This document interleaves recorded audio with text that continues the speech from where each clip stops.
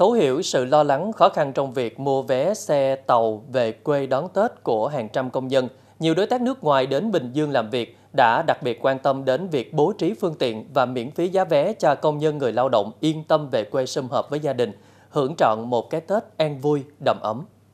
Từ 4 giờ sáng ngày 5 tháng 2, hơn 10 chuyến xe miễn phí đã đậu hàng dài trước cổng công ty Edco ở thị trấn Lai Uyên, huyện Bầu Bàng, sẵn sàng đón hơn 200 công nhân, người lao động về các tỉnh xa đón Tết.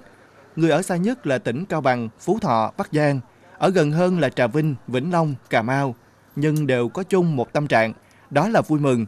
Họ vui không những vì bản thân được về quê đón Tết trên chuyến xe miễn phí, mà cả người thân như vợ chồng, con cái và cha mẹ cũng được về cùng mà không phải đóng thêm khoản phí nào.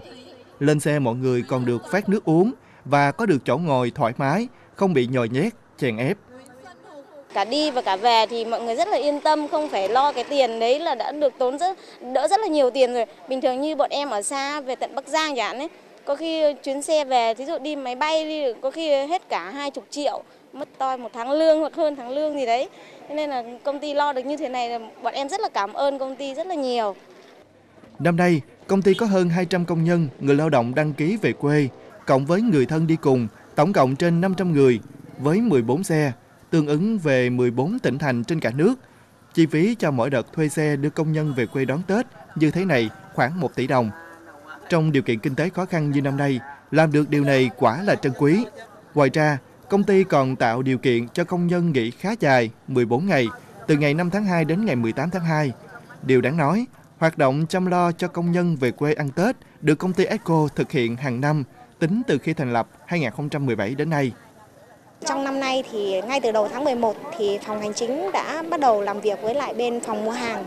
để uh, tìm kiếm những cái nhà cung cấp về xe để đảm bảo được cái ờ, nguồn cung cấp tốt nhất và sau đó thì chúng tôi cũng đã gửi cái thông báo cho toàn thể người lao động để họ có thể đăng ký về quê. Chưa đầy một tiếng đồng hồ, mọi người có mặt trên xe đầy đủ, Điểm danh xong là xe tiến hành lăn bánh. Có thể thấy sự quan tâm, chăm lo chu đáo này đã làm ấm lòng tất cả công nhân xa quê và người thân. Chắc chắn họ sẽ có một cái Tết đoàn viên, vui tươi, hạnh phúc bên gia đình, quê hương. Và khi trở lại Bình Dương, sẽ mang tâm trạng mới, khí thế mới, với năng suất làm việc cao hơn để đưa công ty ngày một phát triển.